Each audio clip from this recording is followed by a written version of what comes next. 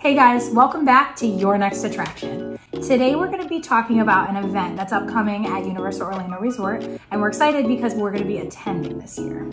We are so pumped. We're talking about Rock the Universe. This is Florida's largest Christian music festival happening at Universal Studios Florida. It'll be happening January 27th through January 28th. The biggest Christian artist names around, not to mention food, merch, but what are the details, time, pricing? Let's get into that.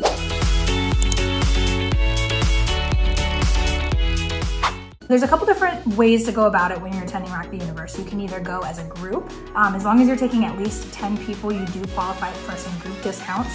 And then there's also the individual tickets as well. Depending on your group size, whether you're going by yourself or going with your church group, prices do vary. They do range from $80 for one night all the way up to $140 for the multiple nights, including multiple parks. That's right.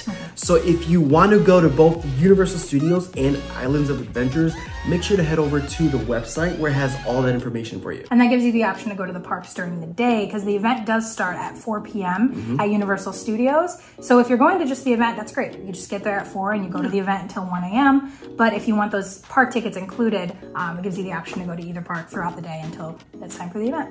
So if you're planning on attending Universal Studios Florida January 27th or the 28th, you're gonna wanna make sure to plan ahead because the park, like Alicia said, will be closing early. However, if you make it to this event, you will be able to go from 5 p.m. all the way until 1 in the morning, which is pretty cool. And another cool thing about purchasing a ticket for the Rock the Universe event, they're also going to be having a Sunday morning service. Yeah. Um, and you only get to go to that if you have a ticket to the event that happens on either Friday or Saturday. Make sure that you go online. You'll have to RSVP for that Sunday service as well. Um, so make sure you purchase the tickets and then go RSVP if you're interested in attending that. The lineup is pretty immaculate. For Friday night, if you're attending the one time and it's Friday, you'll get to see people like Skillet, Tauren Wells, Bethel Music, Rend Collective, Evan Craft, and Katy Nichole. Saturday's lineup includes Zach Williams, Matthew West, Dante Bowe, Anne Wilson, We Are Messengers, and.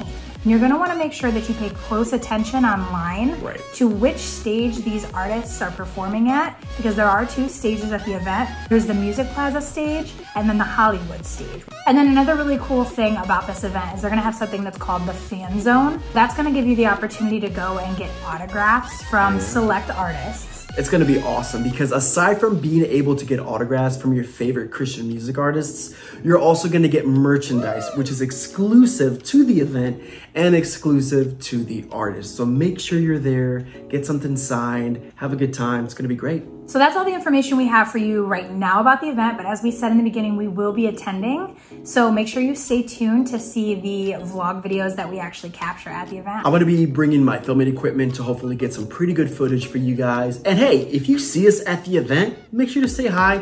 We love to connect. Thank you guys so much for tuning in to today's episode of Your Next Attraction. We'll see you soon.